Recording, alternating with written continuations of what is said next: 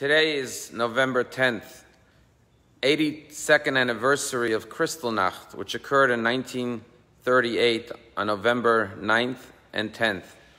Over a thousand synagogues were torched and burnt, the night of broken glass, as synagogue windows were shattered.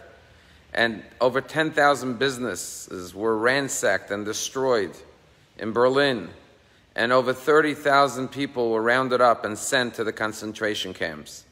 This was the beginning of the greatest tragedy in Jewish and human history, the Shoah, the Holocaust, which led to the murder of six million innocent Jews and a million and a half children. The March of the Living uh, created an initiative to commemorate this day, especially during the COVID period that we're in.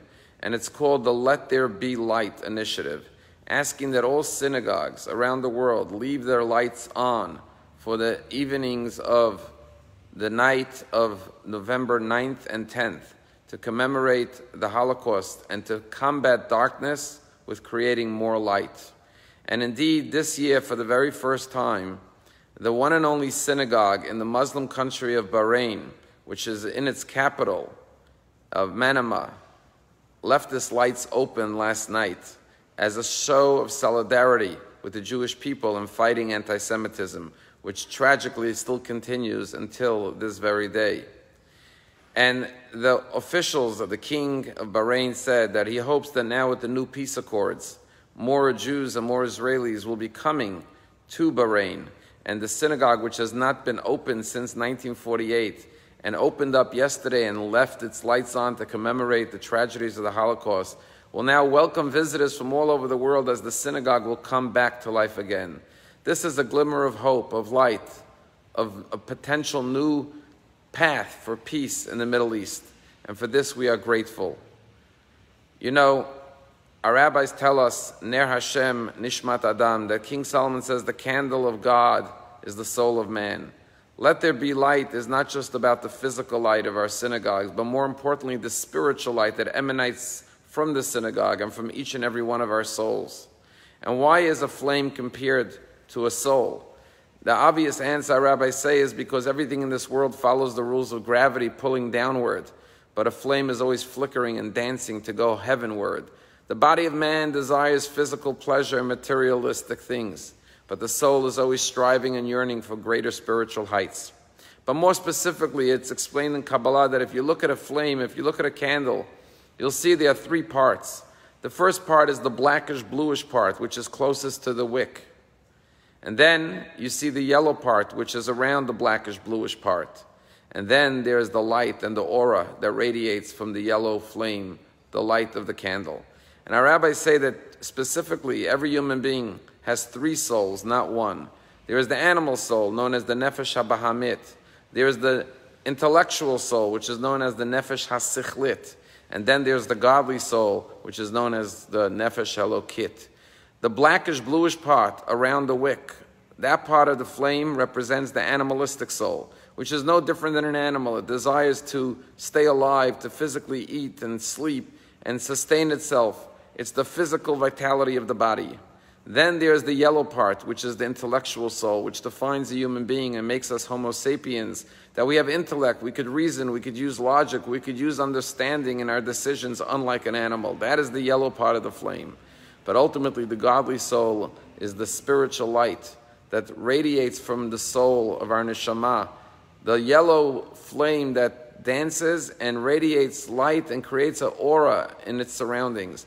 That is the light of our Torah, of our mitzvos, that our soul is able to imbue into this world. You know, Rabbi Israel Meir Lau, chief rabbi of Israel, who was the, one of the youngest Holocaust survivors at the age of eight years old. He survived Buchenwald, came to Israel and became the chief rabbi of Israel. And every year he goes on the March of the Living. And you could see all the pictures of him marching in the front row with the tens of thousands of youth and participants from all over the world who march through Poland and go to Israel to celebrate Israel's Independence Day every year. And he always carries with him, you can see in every picture, He's always carrying a small miniature Torah. And someone asked him, Why do you always carry a Torah with you on the March of the Living? And he said, I carry a Torah because the Torah, like myself, is also a survivor of the Holocaust. The Nazis didn't want to only destroy Jews, the Nazis wanted to destroy Judaism. They want to, to uproot the Torah from the world. And therefore, the way we say Am Yisrael Chai is by going on and living and thriving as a Jewish nation, defying all of our enemies and those who tried and attempted to destroy and annihilate the Jewish people. We say we will remain not just as Jews, but as observant Jews, as Jews who embrace the Torah, who follow the Torah, who live by the Torah's values. And that's why the Torah celebrates today, as it survived the greatest atrocities known to mankind, together with its beloved Jewish nation who have embraced it, loved it, and cherished it throughout the millenniums. And today, when our synagogue lights are open around the world and radiate into the streets, it sends a message of light over darkness, of love over hatred, of goodness, of goodness over evil. It sends the message of Am Yisrael Chai, the Jewish people will always live on forever. So today, of course, you can participate by leaving the lights, not just of your synagogue, but of your home, lit up to illuminate the darkness of the world. Here in Palm Beach, it's a rainy, dark, dreary day. So the lights get to illuminate the street, not just at the nighttime, but during the daytime. But equally, or more importantly, let there be light was the first mission statement spoken by God. Let us create more light in our lives. Let us substitute hatred with love, conflict with peace, evil with goodness and kindness.